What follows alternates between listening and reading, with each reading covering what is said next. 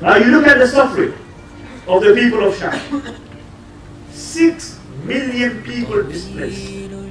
Six million. Two million of them outside Syria, six over six million inside Syria. Conservative, this is very conservative. 120,000 people have been killed. That is very conservative. Now let me tell you when we went into Syria. We went into Syria, I swear, one. It was far, far colder than it was here. It was far colder than England. And, and that time when it was very cold in England, about 20 days ago. It was snowing there. I remember we had an interview at Al Jazeera, and I had stand outside for two hours. And by the time, no exaggeration, by the time you know I finished the interview, it took me the entire day to get warm. And I, I had my coat, I had my jumper underneath, it took me the entire day.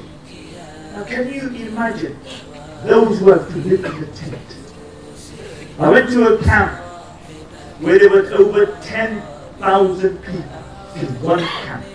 These were the, wallahi, they say these were the lucky ones who had a camp. They reached the close to the border.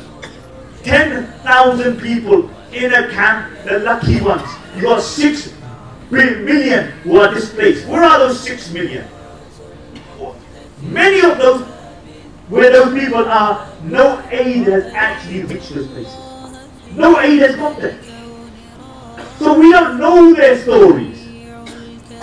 Nobody mentioned their stories because we don't know about their stories. Hims. Hims. I met a sheikh from Hims, a scholar.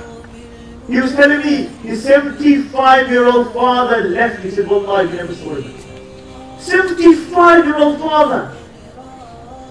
So we never saw him again. He said there is no family in Hims who has not lost an individual.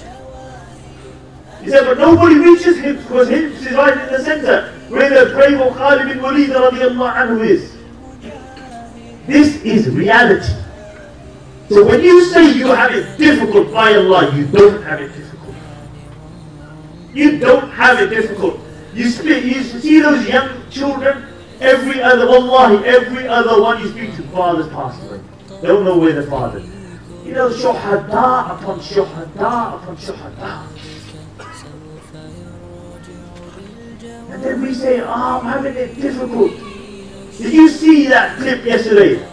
Where that child, that young child, six years old, they say his final, they had a picture of him.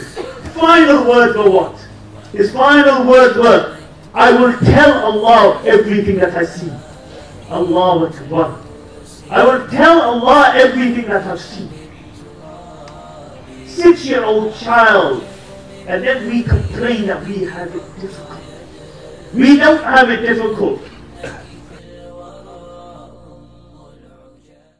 Isn't it so funny how we all walk around Never even thinking of the days under the ground The drive and ambition taking over our lives For this world, for the fame, for the power do we